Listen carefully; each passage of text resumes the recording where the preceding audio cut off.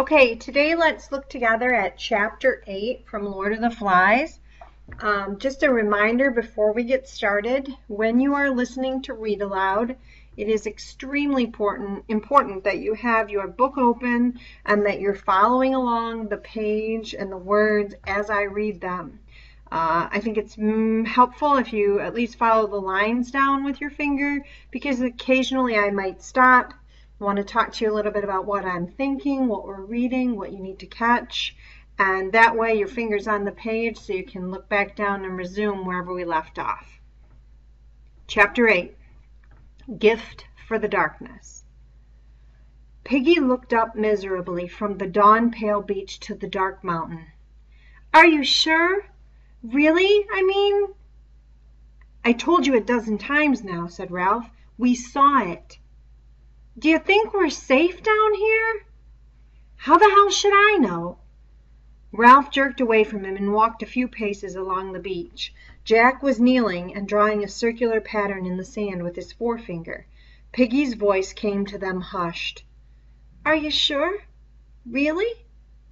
Go up and see, said Jack contemptuously, and good riddance. No fear. The beast had teeth said Ralph, "and big black eyes." He shuddered violently. Piggy took off his one round of glass and polished the surface. "What are we going to do?" Ralph turned toward the platform. The conch glimmered among the trees, a white blob against the place where the sun should rise. He pushed back his mop. "I don't know." He remembered the panic flight down the mountainside. "I don't think we'd ever fight a thing that size, honestly, you know. We'd talk, but we wouldn't fight a tiger. We'd hide. Even Jack'd hide." Jack still looked at the sand. "What about my hunters?" Simon came stealing out of the shadows by the shelters. Ralph ignored Jack's question. He pointed to the touch of the yellow above the sea. "As long as there's light we're brave enough, but then and now that thing squats by the fire as though it didn't want us to be rescued." He was twisting his hands now unconsciously. His voice rose. "So we can't have a signal fire. We're beaten." A point of gold appeared above the sea, and at once all the sky lightened. "What about my hunters?" "Boys armed with sticks." Jack got to his feet. His face was red as he marched away. Piggy put on his one glass and looked at Ralph. "Now you done it! You've been rude about his hunters." "Oh, shut up!" The sound of the inexpertly blown conch interrupted them. As though he were serenading the rising sun, Jack went on blowing till the shelters were astir and the hunters crept to the platform, and the little ones whimpered as now they so frequently did. Ralph rose obediently, and Piggy and they went to the platform. "Talk!" said Ralph bitterly. "Talk, talk, talk!" He took the conch from Jack. "This meeting Jack interrupted him. "I called it." "If you hadn't called it I would have. You just blew the conch." "Well, isn't that calling it?" "Oh, take it. Go on. Talk." Ralph thrust the conch into Jack's arms and sat down on the trunk. "I've called an assembly said Jack, "because of a lot of things. First, you know now we've seen the beast. We crawled up. We were only a few feet away. The beast sat up and looked at us. I don't know what it does. We don't even know what it is. The beast comes out of the sea, out of the dark trees. Quiet! shouted Jack. You listen. The beast is sitting up there, whatever it is. Perhaps it's waiting, Hunting! Yes, hunting!" "Hunting!" said Jack. He remembered his age old tremors in the forest. "Yes, the beast is a hunter. Only shut up! The next thing is that we couldn't kill it. And the next thing is that Ralph said my hunters are no good." "I never said that." Pause for just a second. Keep your finger on the page. This is a really important moment. A couple of things just happened. Number one, Jack called the meeting. And I believe that's the first time that ever happened, that someone besides Ralph called the meeting. The second thing that he did is he just told them all they know the beast is real, they've seen it, they're in danger. So everybody's probably a little scared. Instead of trying to encourage any, any bravery or positive thinking, what does he do? He separates Ralph. He says, Ralph says, My hunters are no good. What? I'm not convinced that Ralph said that. He did say they're boys with sticks, like in a way to make you think, like, what good's that going to do? But to actually come out and report to the whole group that Jack, or Ralph called them no good is not a good thing. So back to the page. Uh, Ralph just said, I never said that. I've got the conch. Ralph thinks you're cowards, running away from the boar and the beast. And that's not all. There was a kind of sigh on the platform, as if everyone knew what was coming. Jack's voice went up, tremulous, yet determined, pushing against the uncooperative silence. He's like Piggy. He says things like Piggy. He isn't a proper chief. Jack clutched the conch to himself. He's a coward himself. For a moment he posed, paused and then went on. On top of that, when Roger and me went on, he stayed back. I went too. After. The two boys glared at each other through screens of hair. I went on too, said Ralph, and then I ran away. So did you. Call me a coward then. Jack turned to the hunters. He's not a hunter. He never, he'd never have gotten us meat. He isn't a prefect, and we don't know anything about him. He just gives orders and expects people to obey for nothing. All this talk. All this talk, shouted Ralph. Talk, talk. Who wanted it? Who called the meeting? Jack turned red in the face. His chin sunk back. He glowered up under his eyebrows. All right, then, he said in tones of deep meaning and menace. All right. He held the conch against his chest with one hand and stabbed the air with his index finger. Who thinks Ralph oughtn't to be chief? He looked expectantly at the boys ranged round, who had frozen. Under the palms there was dead silence. Hands up, said Jack strongly. Whoever wants Ralph not to be chief. The silence continued, breathless and heavy and full of shame. Slowly the red drained from Jack's cheeks. Then he came back with a painful rush. He licked his lips and turned his head at an angle so that his gaze avoided the embarrassment of linking with another's eyes. How many think His voice tailed off. The hand that held the conch shook. He cleared his throat and spoke loudly. All right, then. He laid the conch with great care in the grass at his feet. The humiliating tears were running from the corner of each eye. I'm not going to play any longer. Not with you. Most of the boys were looking down now at the grass or their feet. Jack cleared his throat again. I am not going to be a part of Ralph's lot. He looked along the right-hand logs, numbering the hunters that had been a choir. I'm going off by myself. He can catch his own pigs. Anyone who wants to hunt, then I hunt when I do can come too. And he blundered out of the triangle toward the drop to the white sand.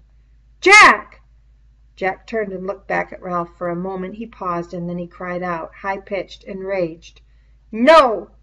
He leapt down from the platform and ran along the beach, paying no heed to the steady fall of his tears, and until he dived into the forest, Ralph watched him. Piggy was indignant. I've been talking, Ralph, and you just stood there like Softly, looking at Piggy, not even seeing him, Ralph spoke to him. He'll come back. When the sun goes down, he'll come back. He looked at the conch in Piggy's hands. What? Well, there! Piggy gave up the attempt to rebuke Ralph. He polished his glasses again and went back to his subject. We can do without Jack Merridew. There's others besides him on the island. But now we really got a beast, though I can't hardly believe it. We'll need to stay close to the platform. There'll be less need of him and his hunters, so now we can really decide on what's what. There's no help, Piggy. There's nothing to be done. For a while they sat in depressed silence. Then Simon stood up and took the conch from Piggy, who was so astonished that he remained on his feet. Ralph looked up at Simon. Simon, what is it this time? A half sound of jeering ran round the circle, and Simon shrank from it. I ah I thought there might be something to do. Something we Again the pressure of the assembly took his voice away. He sought for help and sympathy and chose Piggy. He turned half toward him, clutching the conch to his brown chest. I think we ought to climb the mountain. The circle shivered with dread. Simon broke off and returned to Piggy, who was looking at him with an expression of derisive incomprehension. "What's the good of climbing up to this here beast when Ralph and the other two couldn't do nothing?" Simon whispered his answer. "What else is there to do?" His speech made, he allowed Piggy to lift the conch out of his hands, and then he retired and sat as far away from the others as possible. Piggy was speaking now with more assurance and with what if the circumstances had not been so serious the others would have recognized as pleasure. "I said we could do all this without a certain person. Now I say we got to decide on what can be done. And I think I could tell you what Ralph's going to say next. The most important thing on this island is the smoke, and you can't have no smoke without a fire. Ralph made a restless movement. "No go, Piggy. We've got no fire. That thing sits up there. We'll have to stay here." Piggy lifted the conch as though to add power to his next words. "We got no fire on the mountain, but what's wrong with a fire down here? A fire could be built on them rocks, on the sand even. We'd make smoke just the same." "That's right. Smoke! By the bathing pool." The boys began to babble.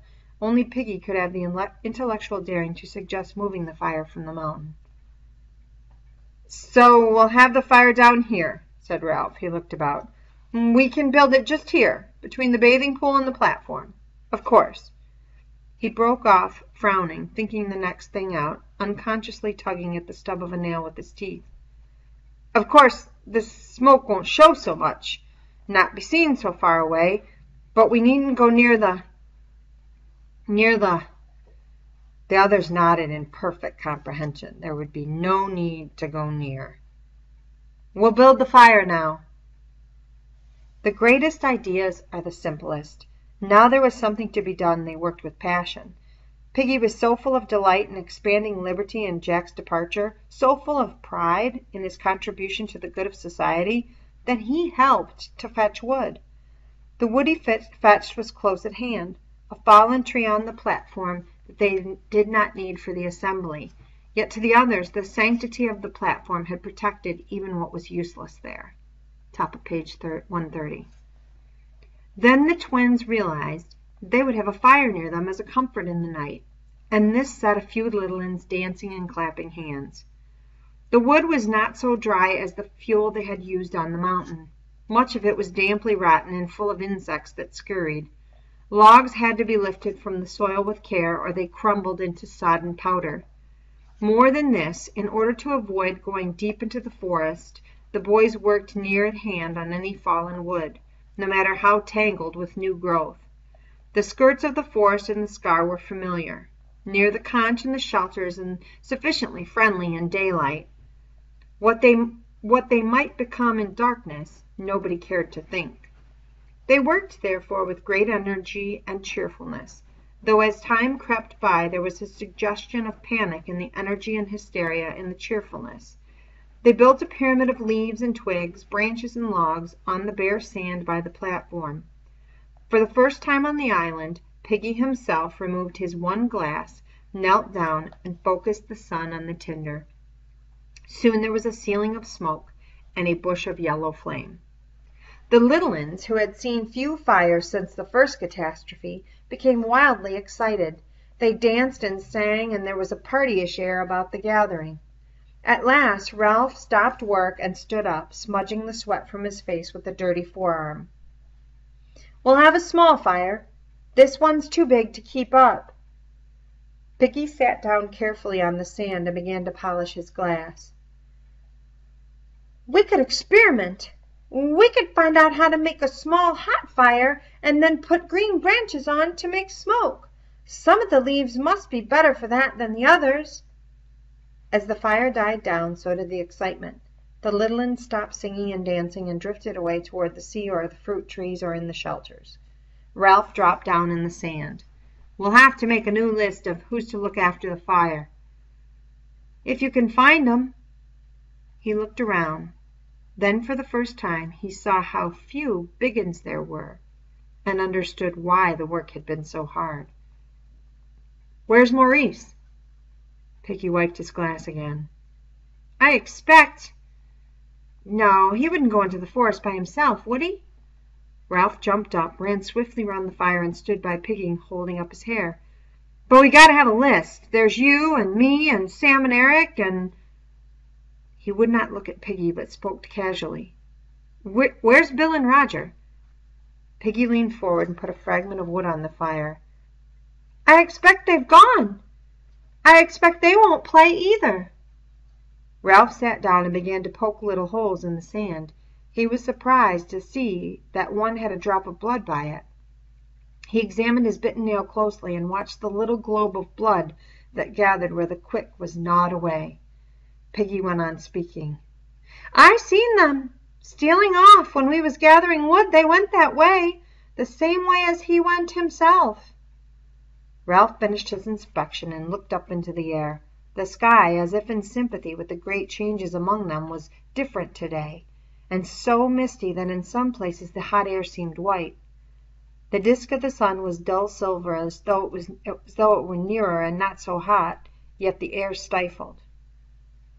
They always been making trouble, haven't they? The voice came near his shoulder and sounded anxious. We can do without them. We'll be happier now, won't we?" Ralph sat. The twins came, dragging a great log, and grinning in their triumph. They dumped the log among the embers so that sparks flew. "We can do all right on our own, can't we?" For a long time, while the log dried, caught fire, and turned red hot, Ralph sat in the sand and said nothing. He did not see Piggy go to the twins and whisper to them, nor how the three boys went together into the forest. Here you are!" He came to himself with a jolt. Piggy and the other two were there by him. They were laden with fruit. "I thought perhaps," said Piggy, "we ought to have a feast, kind of." The three boys sat down. They had a generous mass of the fruit with them, and all of it properly ripe. They grinned at Ralph as he took some and began to eat. "Thanks," he said, with an accent of pleased surprise. "Thanks." "We'll do all right on our own," said Piggy. It's them that have no common sense that make trouble on this island. We'll make a little hot fire." Ralph remembered what had been worrying him. "Where's Simon?" "I don't know." "You don't think he's climbing the mountain?" Piggy broke into noisy laughter and took more fruit. "He might be." He gulped his mouth full. "He's cracked."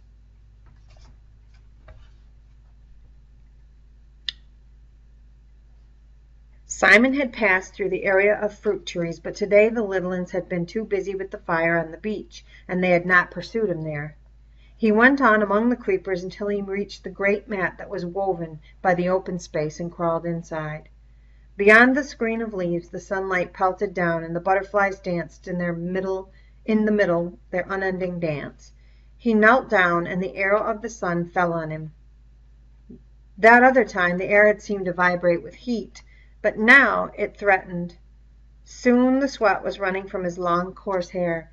He shifted restlessly, but there was no avoiding the sun.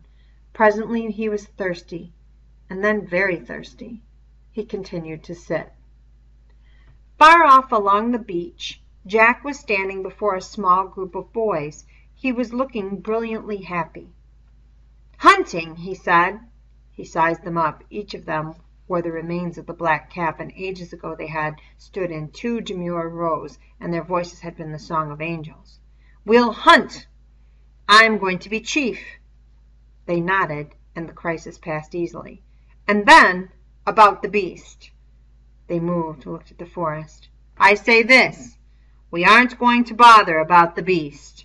He nodded at them. "We're going to forget the beast. That's right. Yes, forget the beast. If Jack was astonished by their fervor he did not show it. "And another thing. We shan't dream so much down here. This is near the end of the island." They agreed passionately out of the depths of their tormented private lives. "Now listen. We might go later to the Castle Rock, but now I'm going to get more of the big 'uns away from the conch and all that. We'll kill a pig and give a feast." He paused and went on more slowly. "And about the beast. When we kill we'll leave some of the kill for it. Then it won't bother us, maybe." He stood up abruptly. "We'll go into the forest now and hunt." He turned and trotted away, and after a moment they followed him obediently. They spread out nervously in the forest. Almost at once Jack found the dung and scattered roots that told of pig, and soon the track was fresh. Jack signaled the rest of the hunt to be quiet, and went forward by himself. He was happy, and wore the damp darkness of the forest like his old clothes. He crept down a slope to rocks and scattered trees by the sea. The pigs lay, bloated bags of fat, sensuously enjoying the shadows under the trees. There was no wind and they were unsuspicious. And practice had made Jack silent as the shadows. He stole away again and instructed his hidden hunters. Presently they all began to inch forward, sweating in the silence and heat. Under the trees an ear flapped idly. A little apart from the rest, sunk in deep maternal bliss, lay the largest sow of the lot. She was black and pink, and the great bladder of her belly was fringed with a row of piglets that slept or burrowed and squeaked. Fifteen yards from the drove Jack stopped and his arm straightened, pointing at the sow. He looked around in inquiry to make sure that everyone understood, and the other boys nodded at him. The row of right arms slid back. "Now!"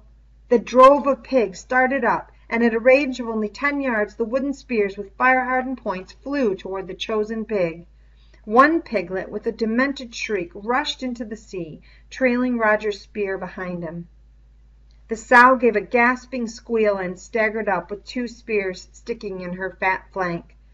The boys shouted and rushed forward. The piglets scattered and the sow burst, advancing the line and went crashing away through the forest.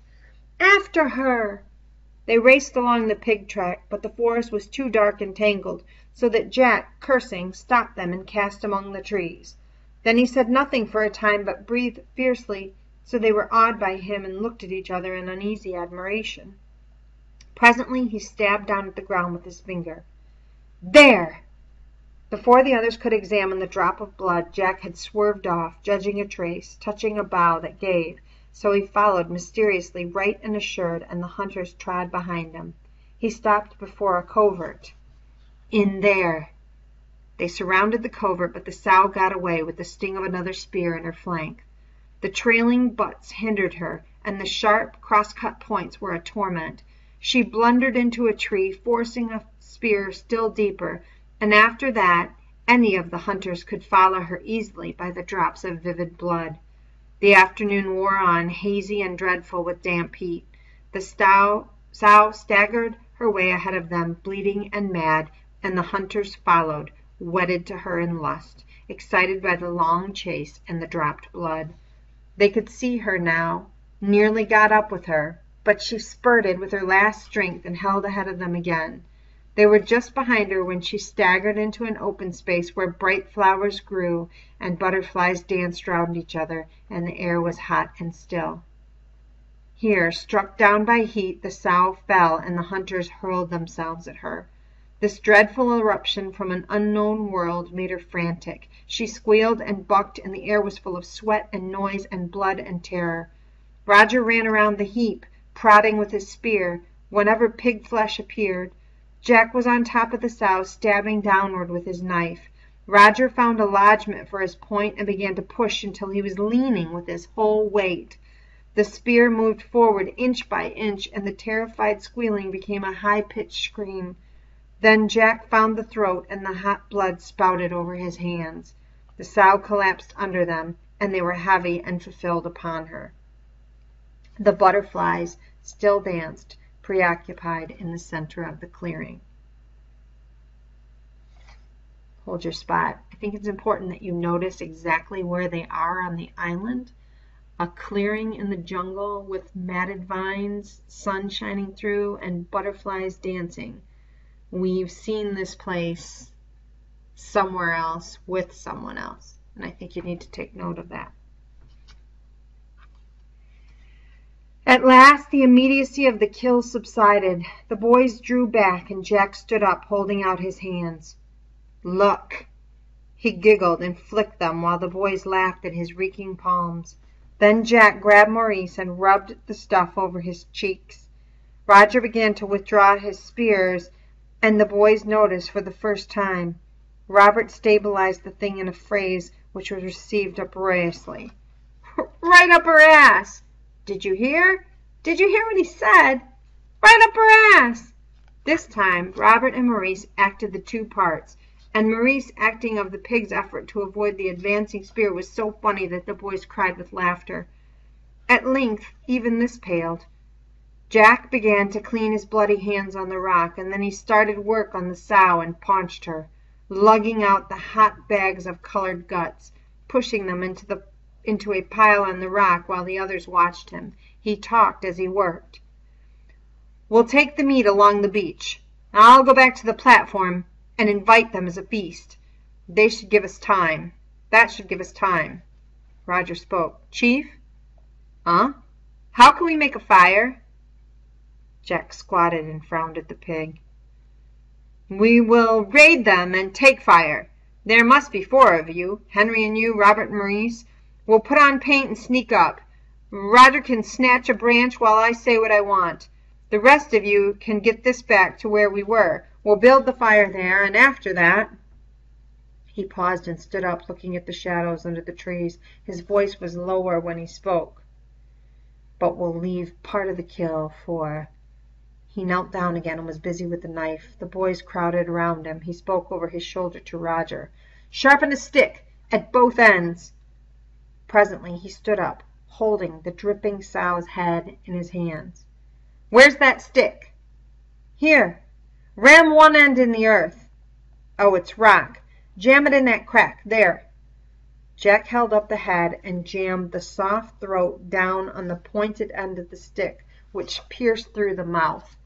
He stood back and the head hung there, a little blood dribbling down the stick. Instinctively the boys drew back too and the forest was very still. They listened, and the loudest noise was the buzzing of flies over the spilled guts. Jack spoke in a whisper. "Pick up the pig." Maurice and Robert skewered the carcass, lifted the dead weight, and stood ready. In the silence, and standing over the dried blood, they looked suddenly furtive. Jack spoke loudly.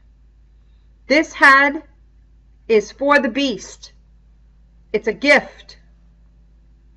The silence accepted the gift and awed them. The head remained there, dim eyed, grinning faintly, blood blackening beneath between the teeth. All at once they were running away as fast as they could through the forest toward the open beach.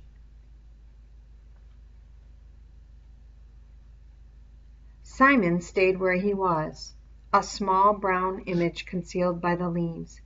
Even if he shut his eyes, the sow's head still remained like an after image. The half shut eyes were dim, and infinite with the infinite cynicism of adult life. They assured Simon that everything was a bad business. "I know that." Simon discovered he had spoken aloud. He opened his eyes quickly, and there was the head, grinning amusedly in the strange daylight, ignoring the flies, the spilled guts, even ignoring the indignity of being spiked on a stick. He looked away, licking his dry lips. A gift for the beast. Might not the beast come for it? The head, he thought, prepared, appeared to agree with him. "Run away," said the head silently. "Go back to the others." "It was a joke, really. Why should you bother? You were just wrong, that's all. A little headache? Something you ate, perhaps?" "Go back, child," said the head silently. I'm going to pause for a second if you'd hold that spot. Simon has been in the jungle now for a long afternoon. Earlier he had a very dry mouth. He was sweating. He was really hot. A couple of different things could be going on here. we know that a dead pig's head will not speak. But it's like he's hearing a voice come from the pig head.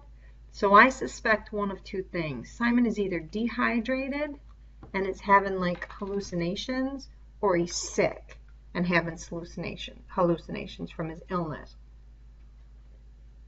Whatever the case may be, he's seeing things that are not really there. So back to the bottom of 137. Simon looked up, feeling the weight of his wet hair, and gazed at the sky. Up there for once were clouds, great bulging towers that sprouted away over the island, gray and cream and copper colored. The clouds were sitting on the land. They squeezed, produced moment by moment this close, tormenting heat. Even the butterflies deserted the open space where the obscene thing grinned and dripped. Simon lowered his head, carefully keeping his eyes shut, then sheltered them with his hands. There were no shadows under the tree, but everywhere a pearly stillness, so that what was real seemed elusive and without definition. The pile of guts was a black blob of flies that buzzed like a saw. After a while those flies found Simon. Gorged, they alighted, alighted by his runnels of sweat and drank. They tickled under his nostrils and played leapfrog on his thighs. They were black and iridescent, green and without number and in front of Simon, the lord of the flies, hung on his stick and grinned. At last Simon gave up and looked back, saw the white teeth and dim eyes, the blood, and, his gaze was held by that ancient, inescapable region. In Simon's right temple a pulse began to beat on his brain. Ralph and Piggy lay in the sand, gazing at the fire and idly flicking pebbles into its smokeless heart. "That branch is gone." "Where's Sam and Eric?" "We ought to get some more wood. We're out of green branches." Ralph sighed and stood up.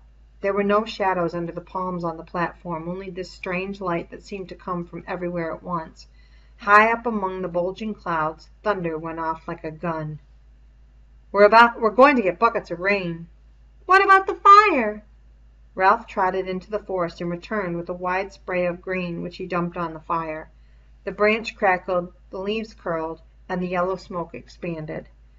Piggy made an aimless little pattern in the sand with his fingers. "Trouble is, we haven't got enough people for a fire. You got to treat Sam and Eric as one. They do everything together." "Of course." "Well, that isn't fair. Don't you see? They ought to do two turns." Ralph considered this and understood. He was vexed to find how little he thought like a grown up and sighed again. The island was getting worse and worse. Piggy looked at the fire. "You'll want another green branch soon." Ralph rolled over. "Piggy, what are we going to do?" "Well, we just have to get on without 'em." "But the fire. He frowned at the black and white mess in which lay the unburnt ends of branches. He tried to formulate. "I'm scared." He saw Piggy look up and blundered on. "Not of the beast. I mean I'm scared of that too. But nobody else understands about the fire. If someone threw you a rope when you were drowning, if a doctor said take this because if you don't take it you'll die, you would, wouldn't you? I mean "Of course I would. Well, can't they see? Can't they understand? Without the smoke signal we will die here. Look at that." A wave of heated air trembled above the ashes but without a trace of smoke. "We can't keep one fire going, and they don't care. And what's more," he looked intensely into Piggy's steaming face, "what's more, I don't, sometimes. Supposing I got like the others, not caring, what would become of us?" Piggy took off his glasses, deeply troubled. "I don't know, Ralph. We just got to go on, that's all. That's what grown ups would do." Ralph, having begun the business of unburdening himself, continued, "Piggy, what's wrong?" Piggy looked at him in astonishment. "Do you mean the "No, not it. I mean what makes things break up like they do?" Piggy rubbed his glasses slowly in thought. When he understood how far Ralph had gone toward accepting him, he flushed pinkly with pride. "I don't know, Ralph. I expect it's him." "Jack?" "Jack." A taboo was evolving around that word, too. Ralph nodded solemnly. "Yes," he said, "I suppose it must be." The forest near them burst into uproar. Demonic figures with faces of white and red and green rushed out howling, so that the little ones fled screaming. Out of the corner of his eye Ralph saw Piggy running. Two figures rushed at the fire, and he prepared to defend himself, but they grabbed the half burnt branches and raced away along the beach. The three others stood still, watching Ralph, and he saw that the tallest of them, stark naked save for paint and a belt, was Jack. Ralph had his breath back, held his had his breath back and spoke. "Well?" Jack ignored him, lifted his spear, and began to shout. "Listen, all of you! Me and my hunters, we're living along the beach by a flat rock. We hunt and feast and have fun. If you want to join my tribe, come and see us. Perhaps I'll let you join. Perhaps not." He paused and looked round. He was safe from shame or self-consciousness behind the mask of his paint, and he could look at each of them in turn. Ralph was kneeling by the remains of the fire like a sprinter on his mark, and his face was half hidden by hair and smut. Sam and Eric peered together around a palm tree at the edge of the forest. A little one howled, creased and crimson, by the bathing pool, and Piggy stood on the platform, the white conch gripped in his hands.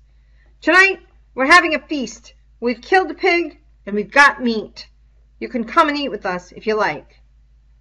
Up in the cloud canyons the thunder boomed again. Jack and the two anonymous savages with him swayed, looking up, and then recovered. The little one went on howling.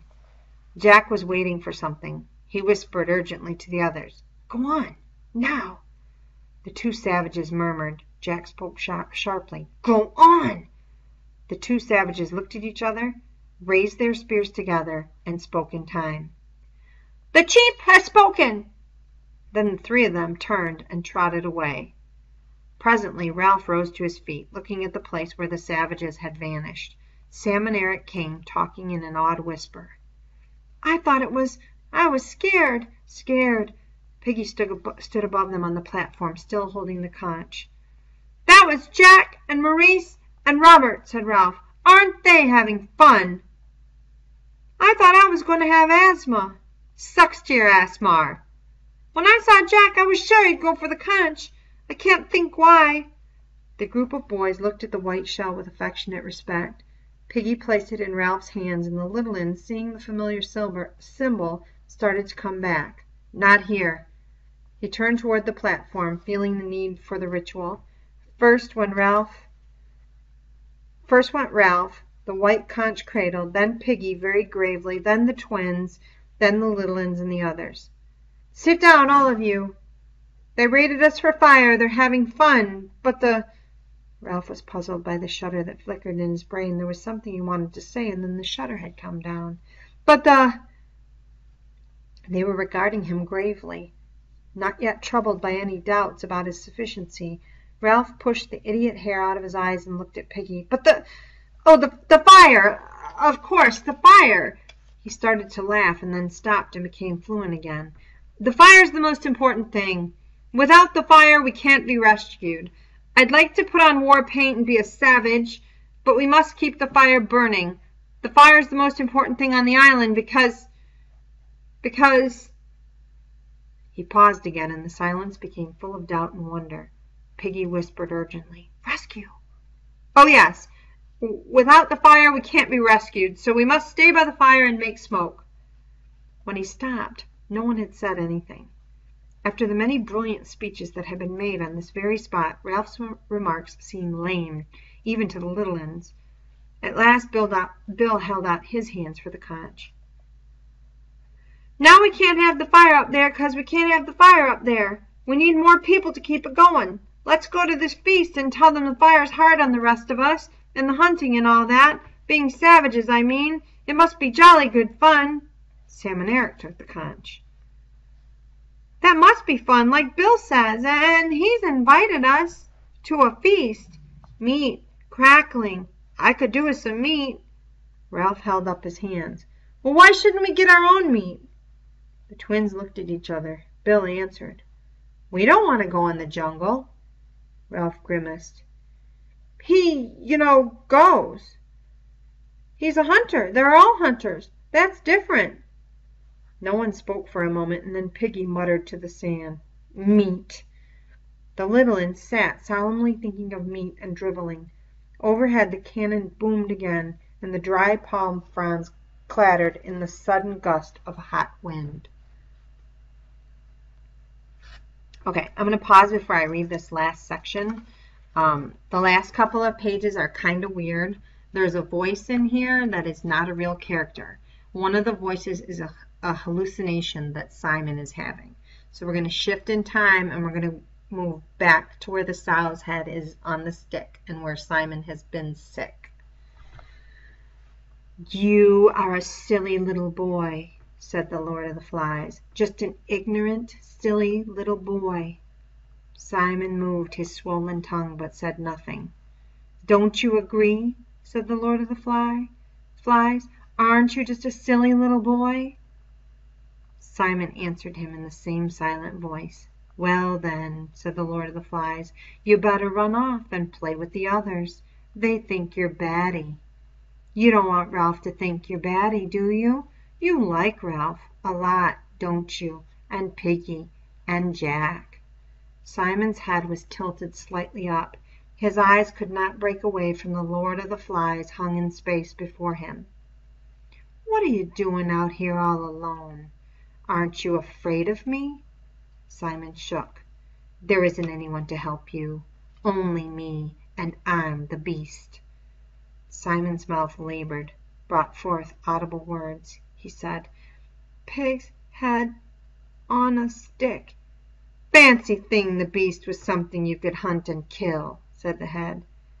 For a moment or two the forest and all the other dimly appreciated places echoed with a parody of laughter. You knew, didn't you? I'm part of you.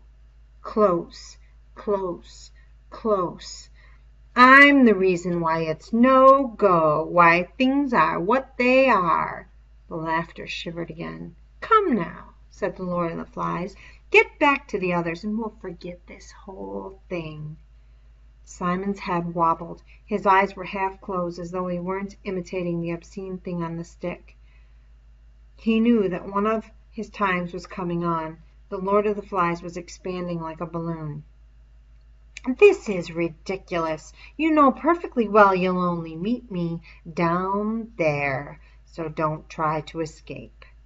Simon's body was arched and stiff. The Lord of the Flies spoke in the voice of a schoolmaster.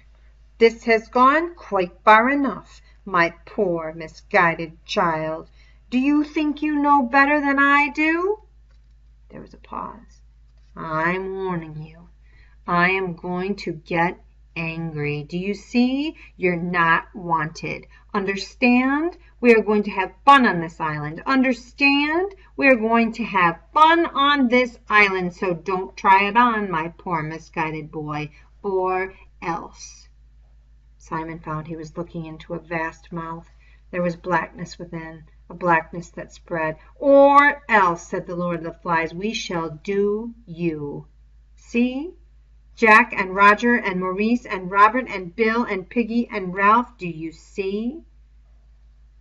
Simon was inside the mouth. He fell down and lost consciousness.